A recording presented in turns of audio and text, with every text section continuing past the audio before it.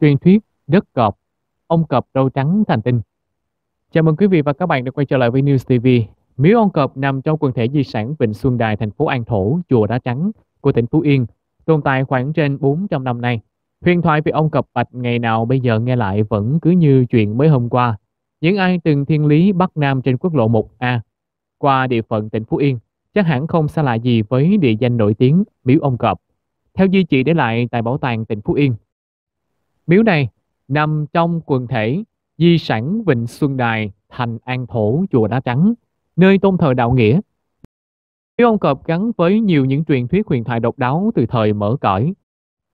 Thấu hiểu ước nguyện của người xưa, người dân địa phương nhiều thế hệ sau không ngừng mở rộng cải tạo miếu ông cọp để làm nơi tôn thờ đạo nghĩa.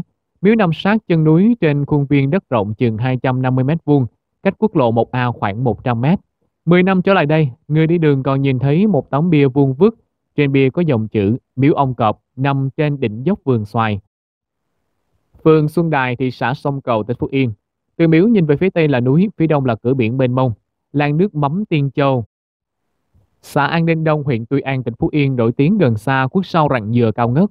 Do tổng hòa của thiên nhiên, miếu lại nằm trong điểm nóng sạt lở nặng nên miếu đã bị đổ nhào xuống biển trong một đêm nước lũ tràn về.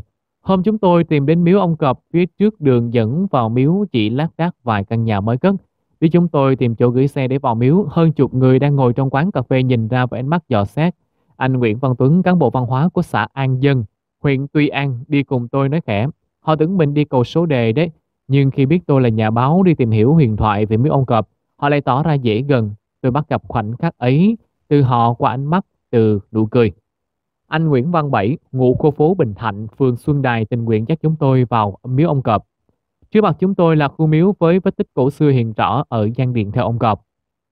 Bên tay phải, sau hốc núi còn có một bàn thờ bằng đá xưa. Trên tảng đá thờ hai ông Cọp, trong đó có ông Cọp Bạch. Anh Bảy cho biết, một ông được thờ từ xa xưa và một ông thì mới được tạc từ công sức và tiền của thiện nguyện của người dân. Các tượng Cọp Bạch qua thời gian đã đậm màu rêu phong, Điều đó làm tăng thêm vẻ cổ kính huyền thoại về truyền thuyết miếu ông cọp. Là lớp hậu sinh, nhưng anh Bảy biết khá rõ về dấu tích xưa cũ. Huyền thoại ông cọp bạch. Ngày 30 Tết, chúng tôi ngược sang sống đồng đò để tìm gặp những bậc cao niên, hiểu biết nhiều về ông cọp. Dù đang bận biệu cúng rước ông bà tổ tiên, nhưng hay tôi đến tìm. Cô Nguyễn Thu, 83 tuổi, liền gác mọi chuyện gia đình sang một bên. Cô Thu bắt đầu huyền thoại về miếu ông cọp từ những địa danh như núi Mỹ Dự, chùa Đá Trắng, Sở dĩ cô Thu nhắc đến những địa danh trên bởi lẽ câu chuyện về miếu ông cọp đã nghe từ cái thời còn là con nít. Hàng ngày đi nhặt xoài rụng ở chùa đá trắng, xoài đá trắng nổi tiếng giòn, ngọt và mùi thơm không lẫn vào đâu được. Xoài đá trắng chỉ để dành tiếng vua cho nên thời ấy còn gọi là xoài ngự.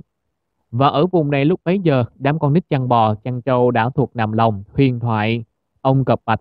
Thế ấy núi Mỹ Dự nổi tiếng với nhiều những đàn cọp dữ, ban đêm thường xuống làng để ăn thịt người. Tương truyền, ông cọp bạch được xem là dữ dằn nhất. Ông cọp bạch đã có trên 10 cọp con nhưng nhận thấy chưa người con nào có thể thay thế mình cai trị vùng đất lắm cọp beo này nên quyết định sinh nở thêm một người con nữa. Ngày bà cọp bạch chuyển dạ nhưng không sinh được. Ông cọp bạch đang trên đường mưu sinh thì hay tin bà cọp đau bụng đẻ kêu cứu. Thương bà cọp nhưng ông cọp bạch không biết phải xoay chuyển thế nào. Trên đường về hang, ông cọp bạch nảy sinh ý định bắt bà mụ về đỡ đẻ cho bà cọp. Chứng kiến cảnh ông cọp bạch hùng hổ vào làng bắt người, dân làng vô cùng bức xúc, nhưng chỉ biết câm lặng mà khấn vái để mong sao bà mụ được an toàn. Trước bóng vuốt của ông cọp bạch, bà mụ tỏ ra hoảng sợ, nhưng khi nhìn thấy bà cọp đang quặn đau, bà mụ không thể làm ngơ nên ra tay đỡ đẻ. Ngay khi cọp con ra đời khỏe mạnh, bà cọp bạch qua cơn nguy kịch. Bà mụ lập tức được ông cọp bạch đưa về tận nhà. Người dân trong làng hiếu kỳ kéo nhau đến xem thân thể của bà cụ có vết cào xé nào không. Thật may mắn tất cả không như nhiều người lo nghĩ. Đến hôm sau thì ông cọp bạch mang đến trước sân nhà của bà mụ một con heo rừng to để tạ ơn. Để tránh những lời dèm pha bà mụ đỡ đẻ cho cọp và thay đổi công việc mưu sinh. Không lâu sau bà mụ chuyển về sống ở làng biển Phú Hạnh, xã An Đinh Đông, huyện Tuy An. Và bà mụ mất vào những năm tháng sau đó vì bệnh già. Người dân lập mộ để tưởng nhớ công ơn của bà mụ tốt bụng đỡ đẻ cho cháu con mà không lấy bất cứ một khoản thù lao nào vào tháng chạp hàng năm người dân lại thấy những dấu chân của ông cọp bạch từ hang núi tìm đến mộ của bà mụ. Cứ đúng vào đêm trước ngày tảo mộ bà là xuất hiện những vết cào cấu vào cỏ. Người dân khẳng định ông Cọp đã về tảo mộ bà mụ. Cọp râu trắng Làng Tiên Châu xưa có rất nhiều cọp, người xưa phát hiện những dấu chân cọp in trên những tảng đá ở chân núi. Đường làng dẫn ra con sông Bình Bá. Các bậc tiền nhân khẳng định rằng làng Tiên Châu có cọp râu trắng, nên Tiên Châu còn có tên khác là làng cọp râu trắng. Cứ đến mùa tế thần, các bậc trưởng lão trong làng lại cúng vái để gọi thần cọp râu trắng về. Trong các lần tế lễ, đêm đến trên các ngọn cây thường có những tiếng động rì rào cùng với nhiều âm thanh réo rắt. Người xưa nói đó là tiếng đàn bầu do cọp râu trắng gãy. Khoảng 50 năm sau, người dân trong làng đã tìm được miếu ông cọp râu trắng. Lúc bấy giờ, huyền thoại về cọp râu trắng càng được tô đậm. Miếu ông cọp râu trắng được phát hiện bởi một đội du kích. Đó là một ngày trong những năm kháng chiến chống Pháp, nửa đêm giặc đổ quân từ ngoài hướng biển vào bất ngờ, khiến cả làng bị giặc về kính. Đội du kích của ta đi qua một đoạn sông dài để lên đò. Họ đi trên những bước chân của ông cọp râu trắng. Đi, đi mãi rồi họ thấy một ngôi miếu dần hiện rõ trước mặt. Dù bóng tối bao trùm mọi thứ nhưng đội du kích vẫn thấy bóng cọp râu trắng mờ ảo phía trước. Phía sau là một toán lính giặc đang bám theo. Cuối cùng cả đội du kích cũng thoát khỏi vòng vây của địch để ra được núi Mỹ Dự một cách an toàn. Phát hiện con đường mà du kích ta đã thoát ra, một toán lính Pháp lần theo để truy lùng. Nhưng họ đi rồi không trở ra nữa. Sau đó người dân phát hiện ra toán lính Pháp ấy đã chết không còn một ai. Thời điểm trước khi dựng miếu ông cọp, có hai miếu văn và miếu võ lập từ khoảng thế kỷ thứ 16. Miếu võ nằm ở phía tây nam được xây bằng đá. Hồi ấy miếu võ là nơi họp hội của các tướng lĩnh. Miếu võ sau này được dời về thời chuông với miếu ông cọp hiện nay. Còn miếu văn được di dời về xã An Thạch, huyện Tuy An, cách miếu ông cọp hiện nay khoảng 12 cây số theo đường chim bay. Chiều 30 Tết năm Tân Mão vừa qua thì tôi lại một mình leo núi. Điểm tôi cần đến là đỉnh núi Mỹ Dự cách quốc lộ 1A khoảng 7 cây số, nơi được người dân trong khu phố Bình Thạnh trước đây cho rằng có nhiều người từng thấy cọp thưởng ngoạn đồng bằng. Khó khăn lắm tôi mới gặp được ông Cao Tòng, người cao tuổi nhất sống Mỹ Dự.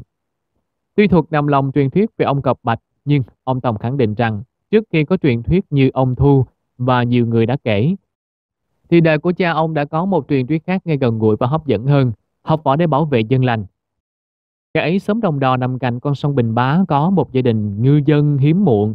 Sau bao năm tháng nguyện cầu thì cuối cùng người vợ cũng họ sinh được một bé trai khấu khỉnh. Lúc ấy vợ chồng của ông ngư dân đã ngoài tuổi tứ tuần. Sau hơn một tuần suy nghĩ thì họ đặt tên cho con là An để cầu mong mọi điều an lành đến với gia đình. Thời ấy trong làng có một pháp sư giỏi giang phán rằng An sinh chúng vào giờ xấu nên số phận của cậu bé không thể thoát khỏi cọp beo. Nghe vị pháp sư phán chắc địch như thế nên khi An lớn lên, vợ chồng của lão ngư đã đi tìm thầy cho con học võ để phòng thân khi gặp cọp dữ. Vốn hoạt bát thông minh, An đã học được rất nhanh các thế võ do thầy truyền lại và tự mình nghĩ ra nhiều thế võ hiểm hóc khác khiến cho thầy cũng phải để phục. Khi trở thành một thanh niên thực thụ thì An bắt đầu học cuộc sống tự lập, thường xuyên đi làm ăn xa.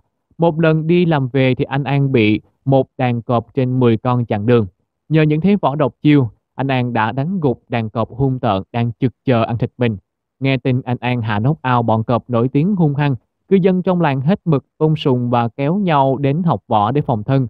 Ông cọp bạch cũng đến hỏi xin để đưa đàn cọp con đến học và điều kiện được thỏa thuận giữa anh An và ông cọp bạch là ông cọp bạch không để đồng loại hại dân làng. Thời gian ấy hai bên thực hiện đúng theo lời cam kết. Ngoài giờ học ở nhà của anh An thì các con cọp của cọp bạch cũng được cha dạy học đạo, không à hiếp dân lành. Anh An cũng đã truyền lại cho lớp học trò những gì mà mình có được từ các thế võ, cảm kích tấm lòng thành của anh An Ông cọp bạch dùng hai chân trước nắm chặt lại tay của anh An, nhưng vô tình tay của anh An bị móng vuốt cào sức nhẹ. Không may vết sức nhẹ lại làm độc. Không còn cách nào cứu chữa, anh An đã chết chỉ vài ngày sau tai nạn hy hữu ấy. Mộ của anh An được gia đình chôn cất dưới ngay chân núi. Hay tin anh An mất hàng đêm thì ông cọp bạch từ hang xuống núi. Nằm cạnh mộ của anh. Ông cọp bạch buồn vì mình đã gây ra chuyện không hay. Ông bỏ ăn và chết đi. Miếu ông Cọp được người dân lập nên từ ngày ấy. Khi tuổi cao sức yếu, ông Cọp Bạch không sống ở hang nữa mà về dưới chân núi Mỹ Dự. Cách quốc lộ 1A khoảng 200 mét để sinh sống. Thời gian này ở đây cũng đã dần vắng bóng cọp beo, cuộc sống của bà con yên ổn. Để tự nhớ ông Cọp Bạch hiền lành biết quý trọng ân nhân sau ngày của ông mất, thì người dân đã lập miếu thờ ông tại nơi ông mất, miếu ông Cọp có từ đó. Ngày nay ngôi mộ anh An vẫn còn nằm đó dưới chân núi phía sau miếu ông Cọp. Ngôi mộ là một bia đá đã ngã màu rêu phong, Sở dĩ người dân không xây mới làm lớn hơn là vì trước ngày mất thì anh An có đề nghị cha mẹ xây mộ đơn giản. Người đời sau cũng làm theo ước nguyện của người đã khuất. Cuộc chiến với cọp Thời gian qua, chính quyền địa phương tỉnh Phú Yên đã có ý định cho xây mới lại miếu nhưng muốn lưu giữ kiến trúc cổ xưa nên chỉ dừng lại ở gia cố tạm. Miếu ông Cọp nằm trong khu căn cứ lớn trước năm 1975. Đây là khu vực đã xảy ra nhiều trận đánh ác liệt trong cả hai cuộc kháng chiến chống thực dân Pháp và đế quốc Mỹ. Ông Nguyễn Thu tâm sự, Cọp vốn là loài hung dữ ăn thịt người nhưng có lòng chung thủy với vợ, có tình thương yêu con cái và có nghĩa với loài người. Truyền thuyết ông Cọp Bạch thể hiện niềm tin trong dân gian về một di tích đậm tính nhân văn, nhân bản sẽ được muôn đời sau truyền tụng như là một đạo nghĩa ở đời. Theo sử sách thị trấn Sông Cầu nay là thị xã Sông Cầu là vùng đất đầu tiên ở Phú Khánh nay là Phú Yên Khánh Hòa. Được cha ông dựng làng lập nghiệp trong những ngày đầu hành trình vào Nam. Di tích miếu ông cọp đã xuất hiện từ cách đây khoảng 400 năm và là minh chứng cho vùng đất này có rất nhiều cọp. Và chính cha ông ta đã ra sức chiến đấu với loài cọp nổi tiếng hung dữ để giữ gìn bờ cõi, giữ làng, giữ đất cho cuộc sống bình yên. Phú Yên nổi tiếng với những con người từng tham gia đánh cọp bảo vệ dân lành. Vì thế ở Phú Yên đặc biệt là sống Đồng Đò, sống núi Mỹ Dự hiện nay vẫn còn một vài gia đình lưu truyền thế võ cọp cho thế hệ sau.